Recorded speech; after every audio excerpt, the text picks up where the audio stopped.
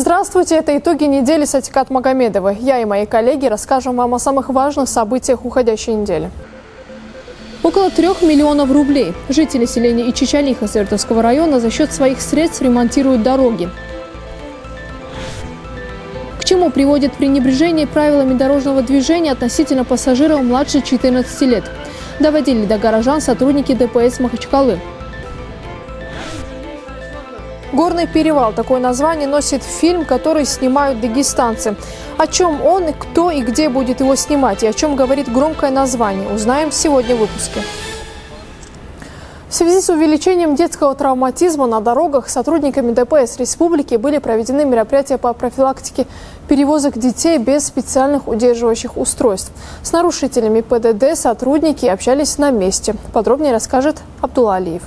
Число ДТП с участием детей в республике, к сожалению, не идет на спад. С начала года уже зафиксировано 44 случая, в которых два ребенка погибли и 45 получили травмы. За аналогичный период прошлого года эта цифра была почти в два раза меньше. И во многом эта печальная статистика связана не только с безграмотным вождением автолюбителей, но и с отсутствием специальных удерживающих устройств для детей.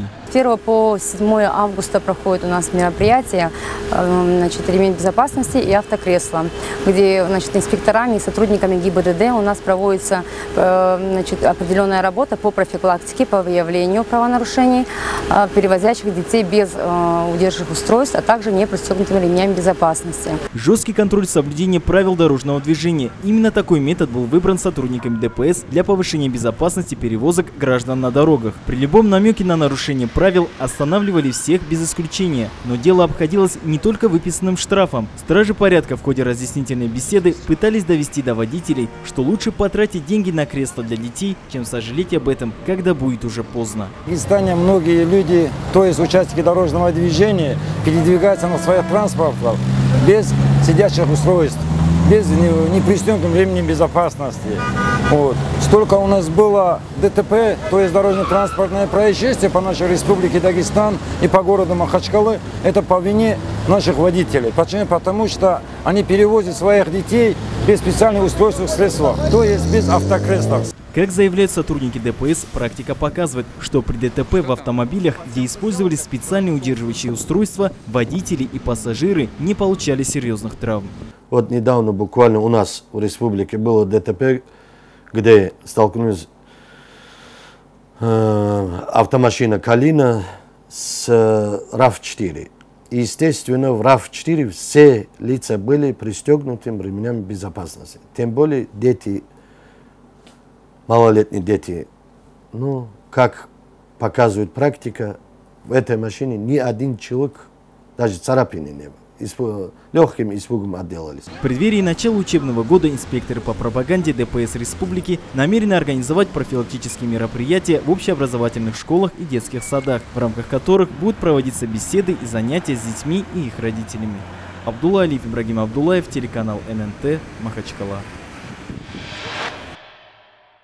В селении Ичичалиха Савертовского района активно ведется ремонт дорог за счет средств, собранных жителями села. За несколько дней уже заасфальтировано 4 улицы общей протяженностью около полутора километров. Все жители села уже изъявляют желание поучаствовать в общем благом деле и намерены благоустроить дороги на всех проезжих участках села. Жители Ичитяли не стали ждать, пока кто-то решит проблему с дорогами в селе и взяли инициативу в свои руки. Идея собрать деньги на ремонт проезжей части у читялинцев возникла в месяц Рамадан. Еще перед праздником Ураза Байрам Джамаат села решил, что вместо того, чтобы тратить огромные деньги на праздничный стол, лучше сэкономить и направить их на нужное дело. Мы в основном начали асфальтировать улицы, начали с тех улиц, по которым больше всего пешеходы идут в сторону мечети, в сторону мечети, так как, значит, в пятничный день все старики, все, э, весь молодежь села, в основном старики, для них было очень э, трудно передвигаться по этим дорогам, было очень много ям, вот, они были пришедшие в негодность, поэтому решили э, дороги, по, по которым основной поток населения идет в сторону мечети, решили устраивать сперва эти дороги. Каждый житель села Чичали внес весомый вклад в ремонт дорог. Результат совместных усилий уже налицо. Трасса шириной в 15 метров и толщиной асфальта в 10 сантиметров готова теперь выдержать любые испытания. На всю работу, по словам жителей села, ушло около 3 миллионов рублей. Изначально Все говорили, о, мы не сможем, у нас деньги не хватит.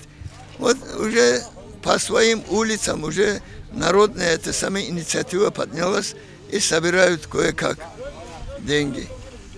Находят. Кто скот дает, кто займы берут, отдают.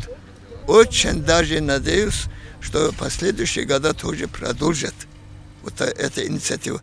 Но проделанная работа, как утверждают и чичалинцы, это еще не предел. И уже в ближайшее время они планируют уложить асфальт на всех дорогах села. Абдулла Алиев, Ариф Назербеков, телеканал ННТ и Чичали.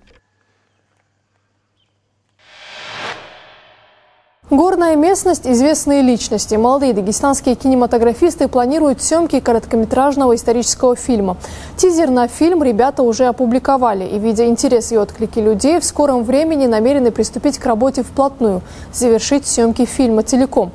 Где они проходили, что хотят показать кинематографисты и какую историческую личность играет главный герой в сюжете Умы Ибрагимовой. Карин, вернись на исходную, мы простим тебя. Тебе надо еще раз пробежать. Так, дубль за дублем в Буйнакском районе проходили съемки тизера исторического короткометражного фильма «Горный перевал». Сейчас актерский состав изучает свои роли, учит слова. Ведь завершить работу ребята планируют в три недели. И в этот момент Горец ему придает надежду, типа, ты не один. Да, и в этот же момент у него появляется улыбка на лице на мгновение, и сразу, бау, выстрел, он падает. Режиссер детально объясняет одному из главных героев тонкости актерского мастерства. Сценарист затронул историческую тему, а главный герой – никто иной, как известный в Дагестане поэт Ирчи Казак. Я взял его за основу, взял его молодость, пока он э, не созрел, так сказать, э, чтобы писать такие стихи, которые он писал в дальнейшем, такие э, тяжелые. И я подумал, в какую, в какую ситуацию поместить этого персонажа, чтобы из него получился такой казак, который есть, которого мы знаем. И э, плюс были исторические события.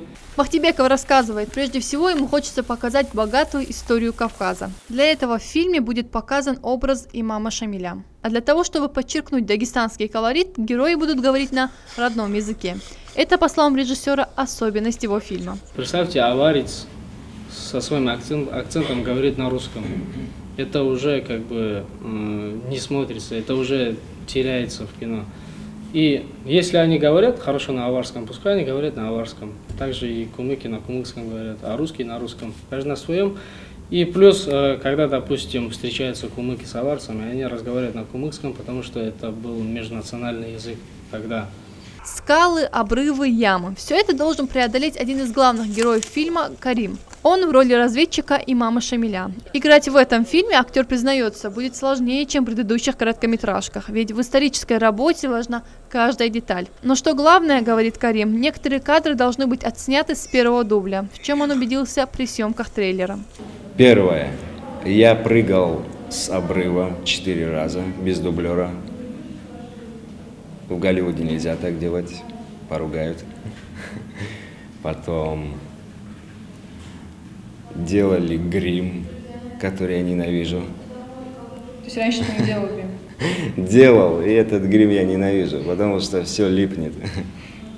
Семь месяцев на написание сценария, три года консультаций с самыми разными историками. Ошибки недопустимы, говорят режиссер и продюсер фильма. Но при этом рассказывают, что только 50% фильма основано на реальных событиях. На документальность картина не претендует. Сегодня люди мало читают книги, они, допустим, их не увлечешь этим э, чтением рассказов. Там.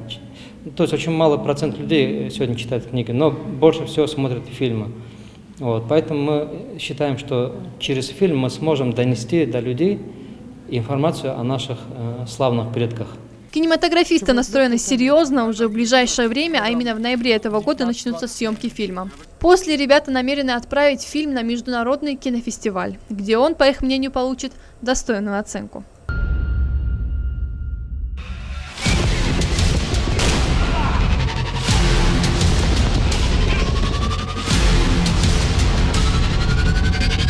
Ума Ибрагимова, Нурмагомед Магомедов, телеканал ННТ, Махачкала.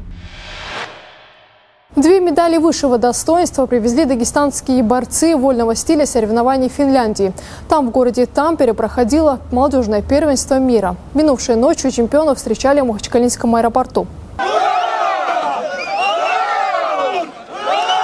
Едва чемпионы успели спуститься с трапа, как оказались на руках у болельщиков, которые восторженно подкидывали их вверх. Несмотря на позднее время суток, разделить радость победы махачкалинца Абдулы Ахмедова и хасавюртовца Шамиля Мусаева прибыло несколько сотен человек. Каждый из них хотел лично поздравить борцов с завоеванием самой престижной награды в юниорской возрастной категории.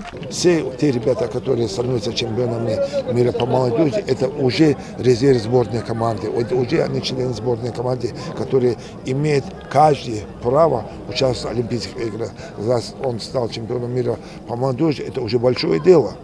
Это запас, запас, как мы держим холодной пресной воды. Вот такой запас э, вольной борьбы Дагестана. На импровизированном митинге выступали директора спортивных школ, родственники и личные тренеры спортсменов. Чемпионам желали новых побед, а главное не останавливаться на достигнутом. Уже совсем скоро борцам предстоит выступать среди взрослых. Начиная э, сезон, Ахмеду Абдулла э, стал чемпионом Дагестана, был победителем перед СКФО, потом выиграл Россию. И он шел к этой цели, конечно, мы э, думали, что он должен стать чемпионом, и он оправдал свои надежды. И надежды своих тренеров наставников. Две золотые медали дагестанских вольников помогли сборной России стать второй в общекомандном зачете. Ума Ибрагимова, Курбан Рагимов, Гилач Курбаналиев, телеканал ННТ, Махачкала. Это были наиболее значимые события этой недели. Увидимся через 7 дней. До свидания.